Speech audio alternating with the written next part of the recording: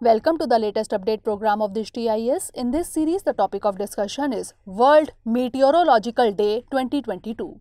World Meteorological Day is celebrated on 23rd March each year. The day aims to spread awareness about the behavior of the Earth's atmosphere and our role in protecting it.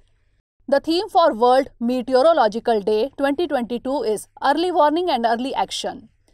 This day holds special significance as it is dedicated to raising awareness about the environmental condition of our planet. The day also marks the foundational anniversary of the World Meteorological Organization that is WMO.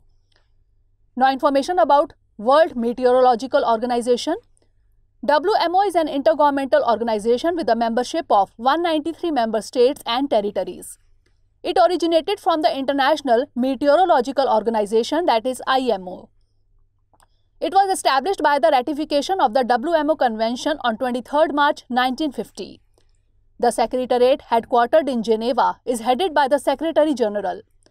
Its supreme body is the World Meteorological Congress. WMO is dedicated to international cooperation on the behavior of the Earth's atmosphere, Earth's interaction with the land and oceans, and resulting distribution of water resources. Dear viewers, watch this topic in Hindi on our Drishti IAS Hindi YouTube channel.